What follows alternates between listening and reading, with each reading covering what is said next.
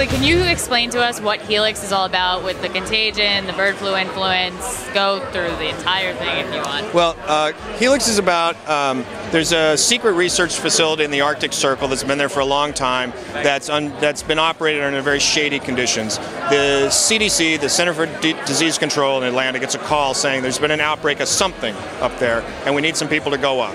So a small team is sent up into the Arctic Circle to go into this base and sort of figure out what's going on. And once they're there, they realize that they weren't even told the, the whole story. There's a much bigger deal happening here that's far more dangerous than what they realized at the outset.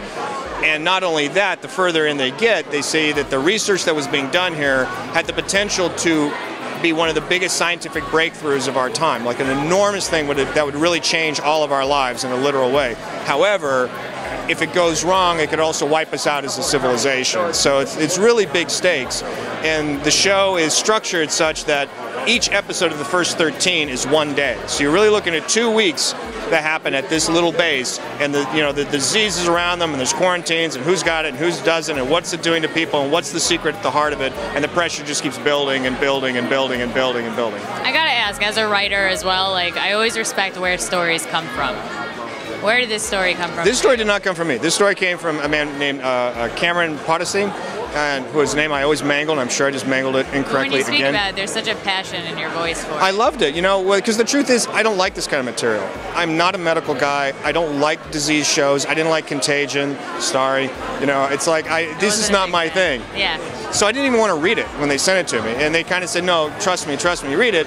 And I opened up the script, and it was just a page turner. It pulled me in. I was really interested in the characters, and by the end of it, I thought, "There's a great show in here." So then I worked with him and uh, the other producers to sort of flesh out, well, what would the show be?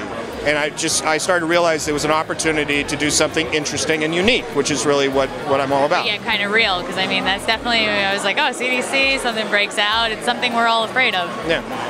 What are your thoughts on how the Battlestar Galactica game continues to succeed today as an online video game?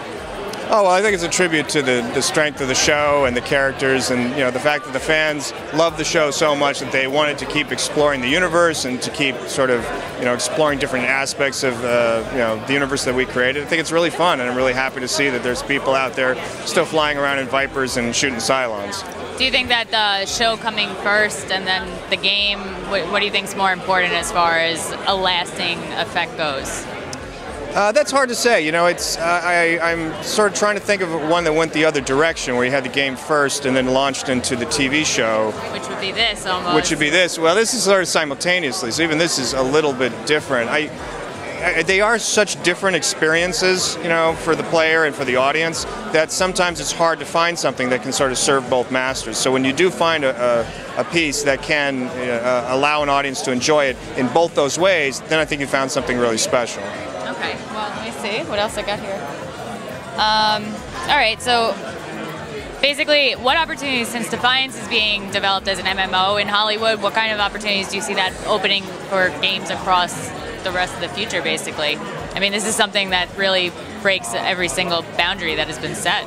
Well, if this works, you know, and, and it looks like it's going to, you know, there will certainly be other people who want to jump in and do the same thing. And you're starting to see a broader and broader acceptance of gaming as a legitimate, not just a legitimate activity, but a legitimate art form in and of itself. And the more that seeps out into popular consciousness, the more you're going to find that there's an even larger general audience that hasn't even put a toe into this world yet. You know, the gaming audience is still a small fraction of sort of the large audience, the potential audience that's out there. So if something like this can succeed and get conversations going where people see that there's a really interesting experience over here and they want to sample that, I think it'll just start to snowball and more and more people want to get into gaming and, and vice versa. I think what I love about these kinds of games is it really lets you use your mind. It's not like you're just going along a journey and you have an end goal. It's like you really are able to differentiate yourself as a gamer.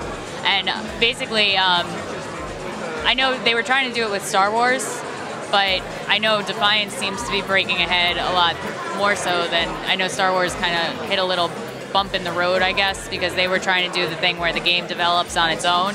Um, could you see anything else doing the same thing that Defiance does, like any other shows?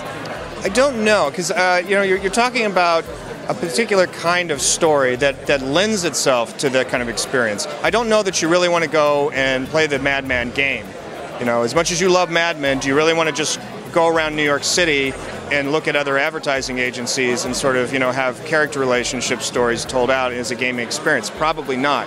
You know, it feels like the gaming experience demands a certain kind of excitement, a certain kind of puzzle, a certain sort of uh, experience that you want to go in and do yourself. And not all pieces of popular entertainment, not all stories will support you know that sort of additional um, time commitment to. So I think it is kind of a case by case basis. You got to find a universe that is so amazing that you, the viewer, can't wait to explore what's outside the frame of your television set. Like well, you it's like really Middle want to Earth. go do that. Middle like Earth Middle Earth. never really went to the video game level. It's not like we see the Hobbit MMO or you know. Right. Seeing like a, sh- a first shooter game from like being Legolas, so like, do you think there's like really a type of character that works in that kind? Because I mean, zombies seem to be Zombies one of the are just things. zombies are just hot at the moment. But you know, Middle Earth, I, I, I'm, don't know why Middle Earth isn't a gigantic. That's what I'm kind of thinking. I don't too. get it. I mean, because I don't, that there's is so many possibilities. Oh, there it's really so is. perfect. Especially when you look in the video games and you see Radagast Oh, and you see yeah. the different wizards and you could have those and Absolutely. it's. I mean, it seems to be the perfect like